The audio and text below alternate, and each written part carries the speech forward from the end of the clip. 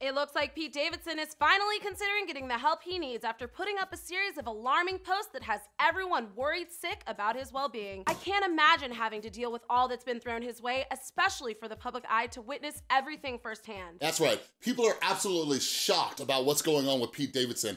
But if you understand addiction and mental illness, it's not all that surprising.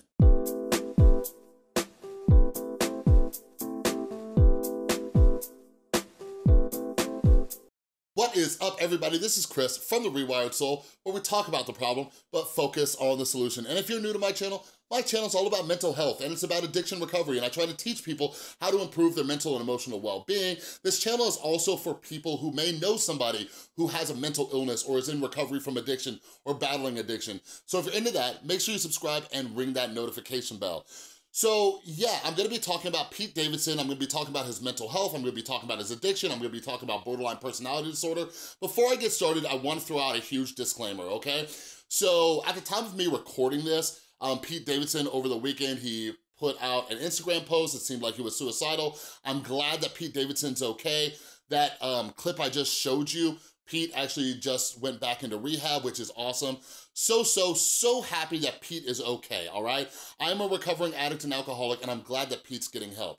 But this video, this video is not for Pete Davidson in any way, shape, or form. This video is for you, okay? This video is so you can learn from this, whether you're struggling with a mental illness or you can be educated about what mental and uh, uh, what mental illness and addiction can do, so you're a little bit more cautious when you're dating or with the decisions that you're making, all right? And by the way, by the way, here's tough love Chris real quick. If you're offended by me talking about this subject, you should probably leave right now because I can already see the comments because I already get them and people are like, but did you get permission to talk about this subject? Listen, this was some of the biggest news this week that was exposed to millions upon millions upon millions of people. So you must be crazy if you think that I'm not gonna address this so people can learn from the mistakes and possibly save some freaking lives out there. All right, so yeah, those of you who aren't caught up on the story, like I mentioned, Pete Davidson made um, a post over on Instagram, but to go back a little bit further, Pete Davidson has been in and out of rehab. Pete Davidson was also diagnosed with borderline personality disorder. So he struggled with addiction as well as mental illness. He got engaged to Ariana Grande. That was um, something that they ended not that long ago. But Pete Davidson was also with Ariana Grande when Mac Miller passed away, which brought on a lot of stress, and Pete Davidson was engaged to her. And there was a lot of public backlash, people blaming Ariana, people blaming Pete Davidson, and I made some videos about that if you wanna go check that out, okay? But anyways, we need to talk. First, let's focus on something that we call dual diagnosis, all right? Some of you might be sitting here and you're like, what's this guy's credential? My credentials is a whole lot of life experience as well as some professional experience, all right? So we need to understand what dual diagnosis means. Dual diagnosis or co-occurring disorders is when somebody has an addiction as well as a mental illness. You need to work on both of those, right? But I remember months ago, um, Tristan actually showed me this interview, I believe, and this clip really freaked me out. People know you went to rehab at some point, correct? I mean, I, yeah, I feel like uh, I'm always there. yeah, you're very open about yeah, it. Yeah, yeah, for sure. But when I was with you the other day, you definitely seem like you're comfortably drinking a little oh, bit. Oh, party's back on, Pete. Party's back on. Yeah, no, I Party found, Pete's back. Yeah, I found out I had a mental disorder. I thought I had a drug problem. I've worked in addiction treatment for years now, and this is a mistake that so many people make. So many people make, and and I don't even think that it's the treatment center's fault. Most of the time, clients that I've worked with, they they twist what people are telling them in their head. They're like, oh, wait, wait, wait, wait, wait. My problem isn't the substances, my problem is mental illness. No, your problem is both, okay? Like, harm reduction is a topic I've covered a long time ago on uh, my channel, but for most people, for most people, the only way that they're going to stay well, stay clean, stay sober, and live a long lifetime is when they are abstinent, okay? But Pete Davidson justified in his head, oh, well, if I just take care of my mental illness, then I can still smoke pot, I can still drink, and all of those other things, right? But 99.9% .9 of the time, the person spirals back into an addiction. This is why abstinence is typically the solution, all right? So with Pete Davidson going back into rehab, I hope that he learns this. I hope that he understands that he he needs to stay abstinent. But there's also a lot of work, a lot of work that you have to do when you're struggling with borderline personality disorder. All right, next let's talk about his engagement to Ariana Grande. Like you guys, you guys, this is why people need to understand mental illness and what they are and what the symptoms are and what is good and what is not good, all right? Like, I, I, apologize for those of you mm-hmm. watching this who struggle with borderline personality disorder. A lot of you might agree with me, but I do mean absolutely no offense. But again, like what I'm saying is very, very real. And what that is, is if you are struggling with very strong symptoms of borderline personality disorder and you are not working on them, you're not going to therapy, you're not treating your illness, you are, you should not be dating. You shouldn't be dating. Like, the other thing is, Pete Davidson never should have been dating Ariana Grande too, because there is a reason why we tell people do not date your first year of recovery. People are in an extremely, an extremely vulnerable state, all right?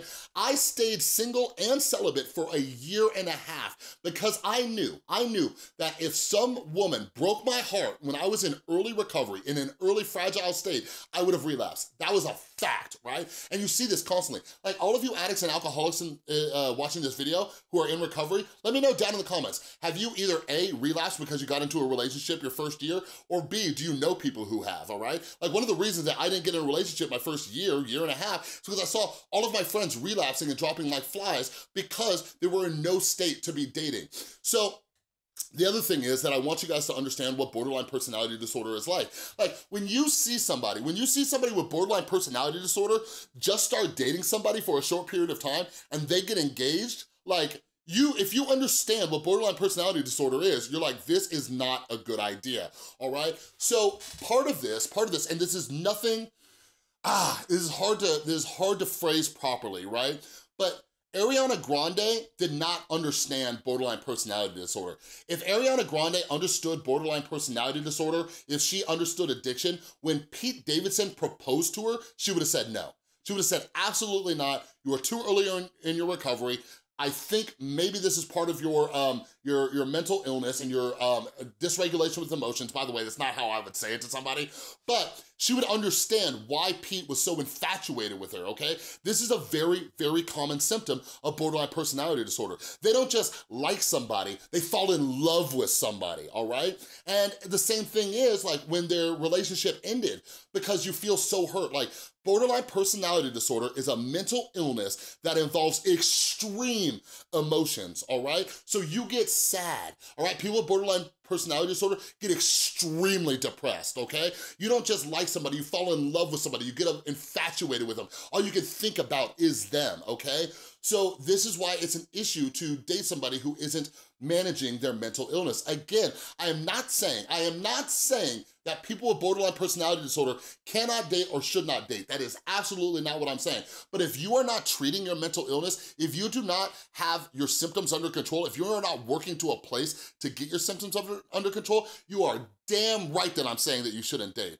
But if you wanna date, if you don't wanna be alone, if you wanna find a relationship, that should give you motivation to keep working on yourself, all right? So I'm going to tell you a quick story. I'm gonna tell you a quick story. This is a 1000% True story, and this is why people need to understand borderline personality disorder as well as addiction, okay?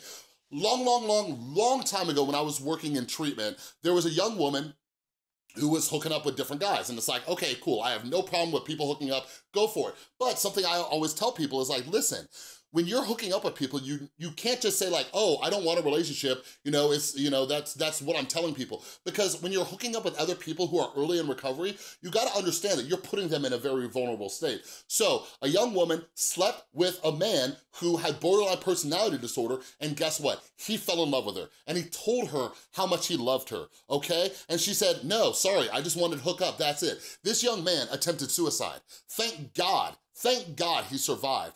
But that's one of the reasons why you need to understand what mental illness looks like because it is extremely selfish to, to put somebody in that situation when they're struggling with a mental illness as well as early addiction recovery, all right? So one of the reasons for my channel, one of the reasons why I talk about these big, huge news stories is so people like you can get educated, all right? Because like I said at the beginning of this video, potentially we can save a ton of lives just by raising some awareness. So if you would like, please share this video so people can take the context of what happened with Pete Davidson and Ariana Grande and hopefully learn and understand when they go out there into the dating world, all right? But maybe it'll also help somebody you know who is struggling with a dual diagnosis to better understand what they need to do if they wanna stay clean and work on their mental health, all right? But again, I will end this video by saying I'm very glad that Pete Davidson is getting help. But from somebody, for somebody like me, who has been clean for over six years and working in addiction treatment, I do really, really, really hope that Pete Davidson comes out of treatment